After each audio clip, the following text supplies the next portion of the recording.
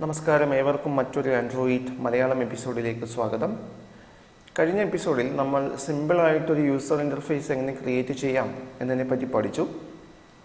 ഇപ്പോൾ കഴിഞ്ഞ എപ്പിസോഡിൽ ക്രിയേറ്റ് ചെയ്ത ആപ്ലിക്കേഷനിൽ നമുക്ക് ഒരു ടെക്സ്റ്റ് ബോക്സ് ഉണ്ടായിരുന്നു. അതുപോലെ തന്നെ ഒരു സെന്റ് ബട്ടൺ ഉണ്ടായിരുന്നു. അപ്പോൾ ഈ എപ്പിസോഡിൽ നമ്മൾ പഠിക്കാൻ പോകുന്നത് എങ്ങനെയാണ് ഈ സെന്റ് ബട്ടന്റെ ക്ലിക്ക് ഈവൻസ് ഹാൻഡിൽ ചെയ്യുക എന്നതിനെ പറ്റിയും അതുപോലെ തന്നെ എങ്ങനെയാണ് യൂസർ എന്റർ ചെയ്യുന്ന മെസ്സേജ് ഗെറ്റ് ചെയ്യുക എന്നതിനെ പറ്റിയുമാണ് നമ്മൾ പഠിക്കാൻ പോകുന്നത്. അപ്പോൾ ഈ ഒരു പ്രോജക്റ്റിൽ നമ്മുടെ ഈ ഒരു പ്രോജക്റ്റിൽ നമുക്ക് ഒരു ആക്ടിവിറ്റി മാത്രമേ ഉണ്ടായിരുന്നുള്ളൂ. അത് മെയിൻ ആക്ടിവിറ്റിയാണ് അപ്പോൾ ആ മെയിൻ ആക്ടിവിറ്റിക്ക് രണ്ട് ഫയൽസ് ആവശ്യമാണ്. ആദ്യത്തേത് ഒരു ക്ലാസ് ഫയൽ രണ്ടാമത്തേത് അതിന്റെ ലേഔട്ട് ഫയൽ അല്ലെങ്കിൽ ഒരു എക്സ് എം എൽ ഫയൽ അപ്പോൾ നമ്മൾ ഒരു ബട്ടൺ ക്ലിക്ക് ഹാൻഡിൽ ചെയ്യാൻ വേണ്ടി അല്ലെങ്കിൽ ആ ബട്ടൺ ക്ലിക്ക് ഹാൻഡിൽ ചെയ്യേണ്ടത് ആ ആക്ടിവിറ്റിയുടെ കറസ്പോണ്ടിങ് ക്ലാസ് ഫയലിലാണ് ക്ലാസ് ഫയൽ കിട്ടാൻ വേണ്ടി ജാവ ഫോൾഡർ ഓപ്പൺ ചെയ്യുക. അതിൽ ആദ്യത്തെ പാക്കേജ് എക്സ്പാൻഡ് ചെയ്യുക. അതിൽ നിങ്ങൾക്ക് നമ്മുടെ ആക്ടിവിറ്റിയുടെ ക്ലാസ് ഫയൽ കാണാൻ സാധിക്കും. മെയിൻ ആക്ടിവിറ്റി എന്ന ക്ലാസ് ഫയൽ അപ്പോൾ ഈ ഒരു ക്ലാസ് ഫയലിൽ നമ്മുടെ ലേഔട്ടിലുള്ള ബട്ടന്റെ ക്ലിക്ക് ഈവൻസ് ഹാൻഡിൽ ചെയ്യാനായി ഞാനൊരു മെത്തേഡ് ക്രിയേറ്റ് ചെയ്യുകയാണ്. ആ മെത്തേഡിന്റെ എക്സസ് സ്പെസിഫയർ മസ്റ്റായിട്ടും പബ്ലിക് ആയിരിക്കണം. റിട്ടേൺ ടൈപ്പ് വോയിഡ് ആയിരിക്കണം.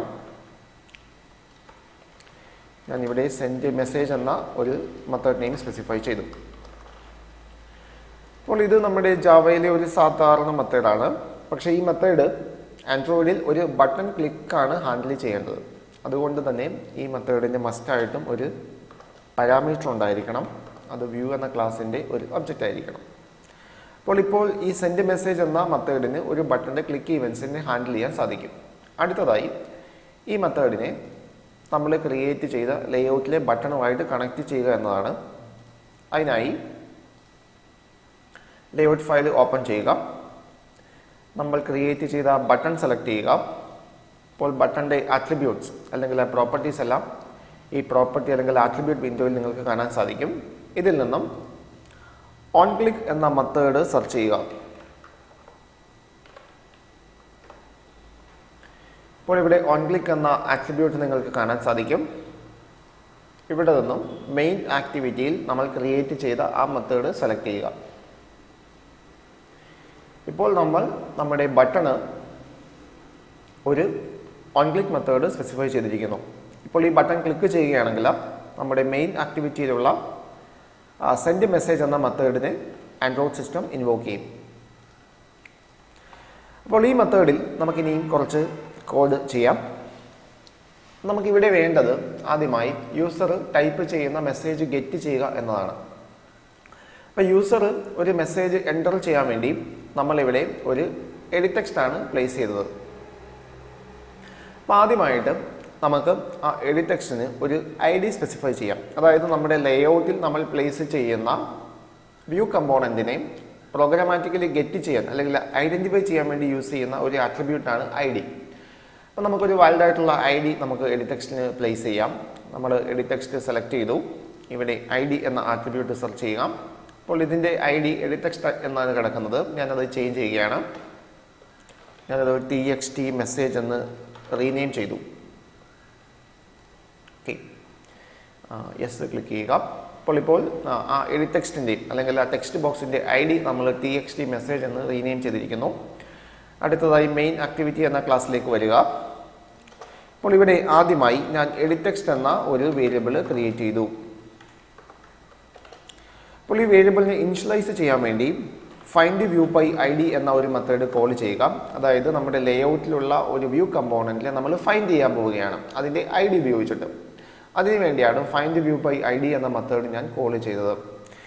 ഇവിടെ നിങ്ങൾ ആ, ആ മെത്തേഡ് അല്ലെങ്കിൽ ആ ഐ ഡിയെ ഗെറ്റ് ചെയ്യേണ്ടത് ആർ ഡോട്ട് ഐ ഡി എന്ന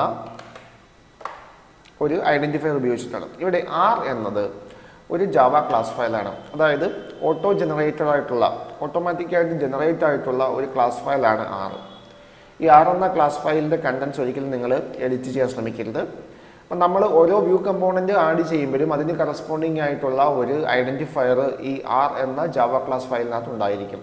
അതുകൊണ്ടാണ് നമ്മൾ ആർ ഡോട്ട് ഐ ഡി എന്ന് കോൾ ചെയ്തത്. R dot I D dot നമ്മൾ ക്രിയേറ്റ് ചെയ്ത I D T X T മെസ്സേജാണ് അത് സെലക്ട് ചെയ്യുക. ഈ സ്റ്റേറ്റ്മെന്റ് ക്ലോസ് ചെയ്യുക. അപ്പം എഡിറ്റെക്സ്റ്റ് എന്ന വേരിയബിൾ നമ്മൾ ഒരു വേരിയബിൾ ക്രിയേറ്റ് ചെയ്തു. ആ വേരിയബിളിനെ നമ്മൾ നമ്മുടെ ലേഔട്ടിലുള്ള ആ ഒരു എഡിറ്റെക്സ്റ്റിന്റെ ഐ ഡി ഉപയോഗിച്ച് കണക്ട് ചെയ്തു. ഇനി ഇതിൽ നിന്ന് നമുക്ക് ആ മെസ്സേജ് ഗെറ്റ് ചെയ്യാം. ഒരു വേരിയബിൾ ക്രിയേറ്റ് ചെയ്തു സ്ട്രിങ് മെസ്സേജ് അപ്പോൾ ആ മെസ്സേജ് കിട്ടാൻ വേണ്ടി ഗെറ്റ് ടെക്സ്റ്റ് എന്ന മെസ്സേജ് എന്ന മെത്തേഡ് കോൾ ചെയ്താൽ മതി. അതിനെ സ്ട്രിങ് ആയിട്ട് കൺവേർട്ട് ചെയ്തു. ഇപ്പോൾ യൂസർ എന്റർ ചെയ്ത മെസ്സേജ് മെസ്സേജ് എന്ന വേരിയബിളിനകത്ത് അവൈലബിൾ ആണ്. അടുത്തതായി നമുക്ക് ആ മെസ്സേജ് ജസ്റ്റ് ഒന്ന് ഡിസ്പ്ലേ ചെയ്യാം. അപ്പോൾ ഡിസ്പ്ലേ ചെയ്യാൻ വേണ്ടി നിങ്ങൾക്ക് ടോസ്റ്റ് എന്ന് ആൻഡ്രോയിഡിൽ ഇൻബിൽട്ട് ആയിട്ടുള്ള ടോസ്റ്റ് എന്ന ക്ലാസ് യൂസ് ചെയ്യാം. അതിലെ മേക്ക് ടെക്സ്റ്റ് എന്ന മെത്തേഡ് യൂസ് ചെയ്യാം. ആദ്യമായിട്ട് ഫസ്റ്റ് പാരാമീറ്റർ കോണ്ടെക്സ്റ്റ് ആണ്. സെക്കൻഡ് പാരാമീറ്റർ മെസ്സേജ് ആണ്. എന്താണോ ഡിസ്പ്ലേ ചെയ്യേണ്ടത്? അത്. തേർഡ് പാരാമീറ്റർ എത്ര സമയം ആ ഒരു ടോസ്റ്റ് വിസിബിൾ ആയിരിക്കണം അല്ലെങ്കിൽ ആ സ്ക്രീനിൽ നിൽക്കണം എന്നതാണ്. അപ്പോൾ ടോസ്റ്റ് ഡോട്ട് അതിന്റെ ലെങ്ത് ഷോർട്ട് ഉണ്ട് ലോങ് ഉണ്ട്. ഷോർട്ട് കൊടുത്താൽ വളരെ പെട്ടെന്ന് അത് ഡിസപ്പിയർ ആകും. ലോങ് കൊടുത്തു കഴിഞ്ഞാൽ കുറച്ച് ടൈമും കൂടി അത് നിൽക്കുമായിരിക്കാം അത് നിൽക്കും അടുത്തതായി നമുക്ക് ഷോ എന്ന മെത്തേഡിനെ കോൾ ചെയ്യാം. ഓക്കെ അപ്പോൾ ഇപ്പോൾ കോഡിങ് ഫിനിഷ് ആയിട്ടുണ്ട്. അപ്പോൾ നമ്മളിപ്പോൾ ചെയ്തത് യൂസർ ഒരു മെസ്സേജ് എന്റർ ചെയ്യും. സെൻഡ് ബട്ടൺ ക്ലിക്ക് ചെയ്യുകയാണെങ്കിൽ നമ്മൾ സ്ക്രീനിൽ ആ ഒരു മെസ്സേജിനെ ജസ്റ്റ് ഡിസ്പ്ലേ ചെയ്യിക്കും. അപ്പോൾ നമുക്ക് ടെസ്റ്റ് ചെയ്യാം റൺ ചെയ്യാം. അതിനുവേണ്ടി നമ്മുടെ ഡിവൈസ് സെലക്ട് ചെയ്തു. ഞാനിവിടെ റൺ ബട്ടൺ ക്ലിക്ക് ചെയ്തു.